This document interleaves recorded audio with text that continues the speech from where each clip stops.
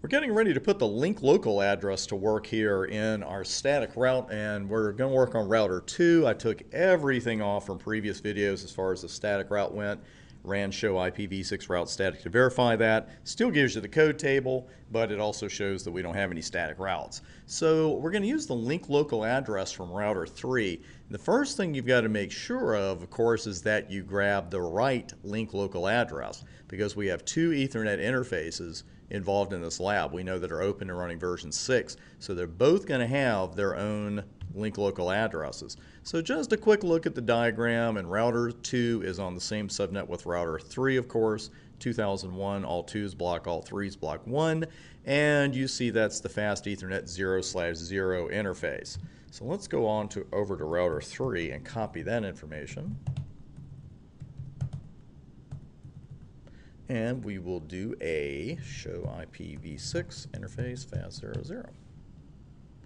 And there are the two global addresses, the unicast addresses we talked about earlier, along with everything else. But here is the link local address, and I'm just going to highlight that and right copy, right click it to copy it.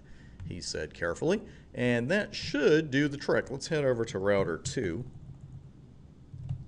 and we'll run IPv6 route always, and we're going to start with the destination network.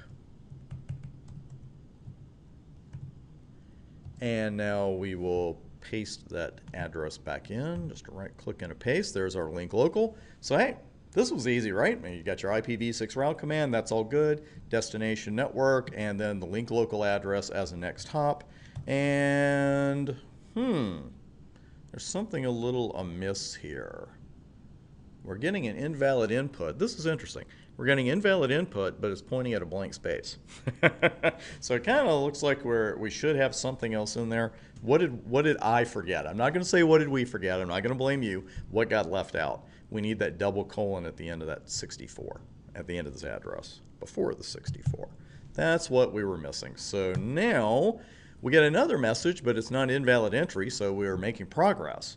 Interface has to be specified for a link local next hop and this is true.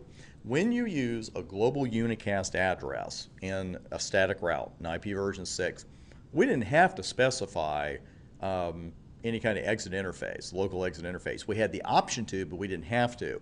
But here's a little extra gotcha here. When you use a link local address as the next hop, you've got to put in the exit interface as well, the local exit interface. Hmm.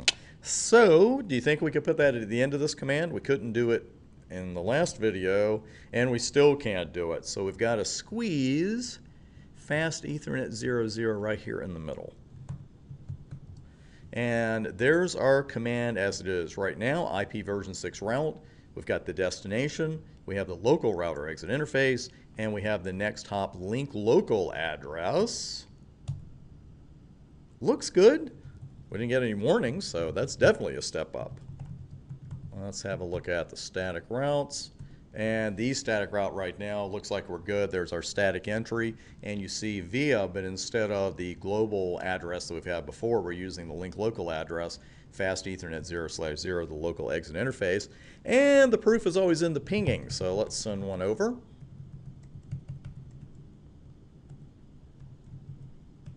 To host 4 on that subnet, and it's a beautiful thing. So again, uh, actually I have a recap for you on the board. Let's step back to there for a moment. Again, when we used a global unicast address as the next hop in a version 6 static route, we had the option of putting on the local exit interface, but it was just that, it was an option.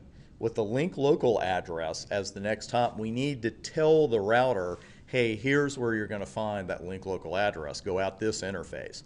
And the router is going to let you know that. The router is going to say, as it said to us, hey, you got to put in a local exit interface. The exam is not going to be that kind. So if we have a link local address in a version 6 static route, we know that we've got to specify that local exit interface.